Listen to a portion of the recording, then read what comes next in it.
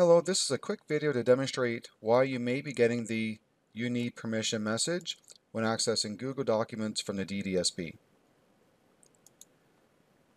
I'm going to present to you a scenario where I've gotten an email from a coworker.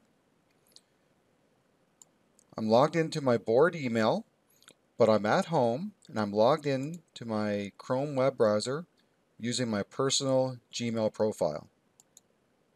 So I'm logged into my email I click the link and I get the access denied window. I should not press the request access message.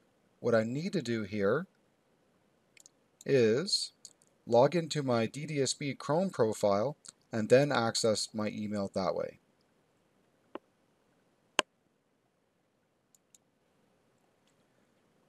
So now I've opened a window and I'm logged into my Chrome profile from the DDSB.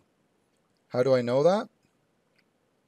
If I click my avatar here, I can see at ddsb.ca right here at the end of my Chrome profile login.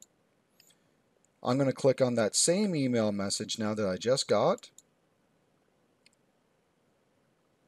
And the document opens properly.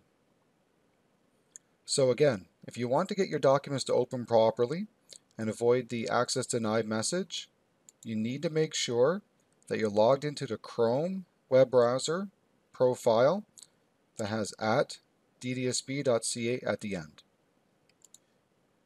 If you need help doing this, go to our YouTube channel, look for our Tekken 2 video, and we have one called Logging into the Chrome browser, which goes through this process step by step.